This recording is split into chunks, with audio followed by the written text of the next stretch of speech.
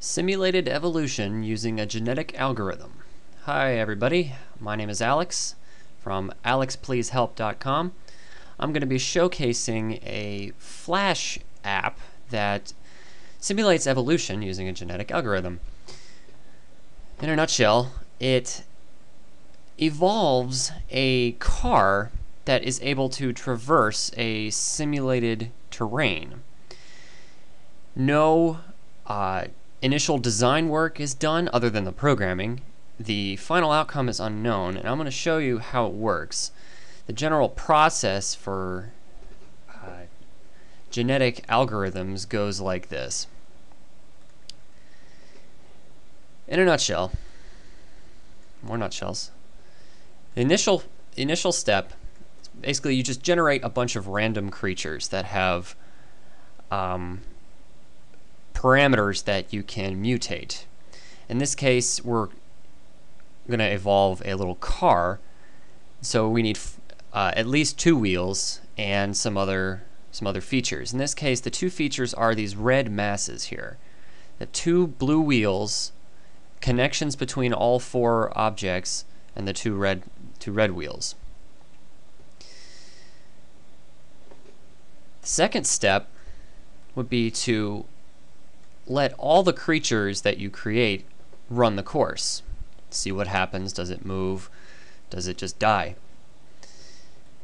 The final set of steps goes like this. When all when all of the creatures in your population have run, you look at okay, who are the winners? What defines a winner?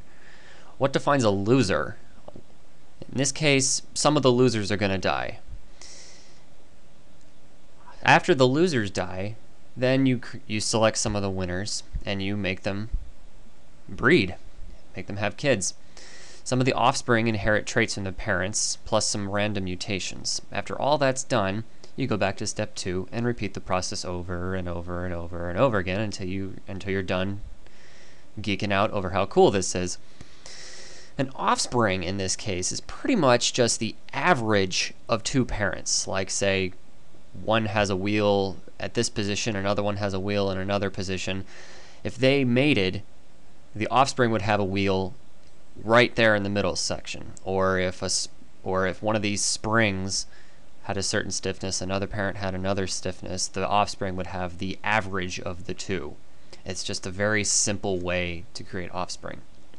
So, in this particular case, with this Flash app that I'm showcasing here, it's not mine. It is on the internet at the website that I showed at the beginning. It's over in the description bar if you want to go check it out, which I suggest you do because it's a lot of fun. It's not mine. It's been on the internet for a long time, and the creator, I have not been able to find him anywhere. He posted this thing, and I really would like to have a chat with him because he says that he'll he's in the future going to post his code. But from what I've gathered, there are several things that occur, and a couple things that I suspect are occurring. You, we know that there are four wheels, and they all they all change diameter, and I'll show you that in a second. Each wheel has a connection between the two, and they're these spring-like connectors. The known mutating parameters, the four wheels, the six springs, and the initial positions of the x and y coordinates of each wheel. Later on, as the population uh, evolves, the wheels move in each thing. So I know for a fact that each creature has at least 18 parameters that change as time goes on. I'm not sure if these are the case, but it'd be kind of nifty if they were, like the mass of each wheel, the torque on each motor, or the friction between the the wheel and the ground. I'm not sure, but I suspect they might be there, but I can't tell. But I do know that these are there. So anyway, let's see this thing run. I have a blank browser here. I'm going to just load it up right away. And we can see right off the bat it starts generating a bunch of random creatures very quickly. A creature dies if the little red circles touch the ground. You can see that one took off there for a second, but every time the red circle touches the ground, the creature immediately dies. That's one way the creature dies. There are there's at least one other way, and we'll get a good one here going in a second. See, these creatures are randomly generated. There's no or the initial ones. They've already gone through two populations here. I'll explain this graph here in a second. Come on.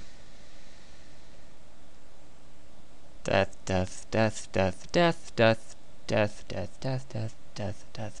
And you can see as they go on, there's a lot of them that share similar traits. That's because the creatures are breeding with each other. The sooner one dies, the sooner it gets off the screen, and then you can see that one will just take off here in a second. Come on. Give it a minute. Anyway, while this is happening, I'll explain what this graph is. Up here, the guy didn't put any units on there. I don't know why, but from what I've gathered on forums, this green line represents... Ah, here we go, here we go. Oh, there goes one. This green line represents the average distance that a car travels. This x coordinate is time the y coordinate is distance traveled. And at each time interval, that was a generation. Right here we had a spike because there was just randomly one just kind of took off. There's another spike here. Here's going to be another one. This green line represents the average distance of all 20 uh, creatures in the population. The black line represents the maximum. So on average, this species, if you will, is traveling this average distance. I at least want to get one going before I switch over to the other the other page. Alright, here's another spike. They keep keep evolving. Every time that red wheel touches, oh, okay, here's a good one. This one goes. The wheels are kind of tiny, so there's not much torque on the ground, and it bounces around. Forgive me if the video is a little shaky. Let me change the quality. Come on. I have two browsers open with this thing going at the same time, so it's going to be a little shaky.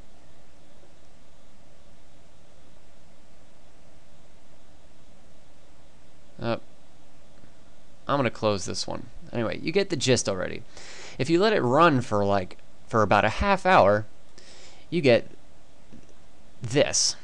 This configuration is pretty much what they all converge to. This big front wheel, slightly smaller back wheel, and the two red masses are kind of right on top of each other.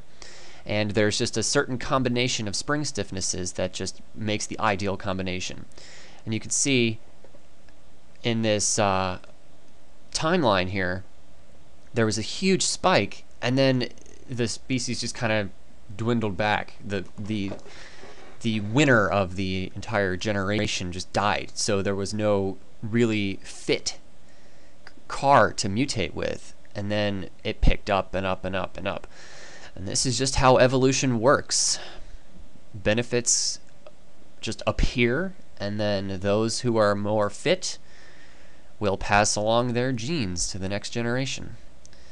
And it just goes up, up, up, up, up, up, up, up. So that's that. Check out the link in the sidebar. Uh, check out um, my website. I have a lot of free online homework help videos. I just like playing with this little application because I'm a nerd. I like programming and I love evolution because it's awesome.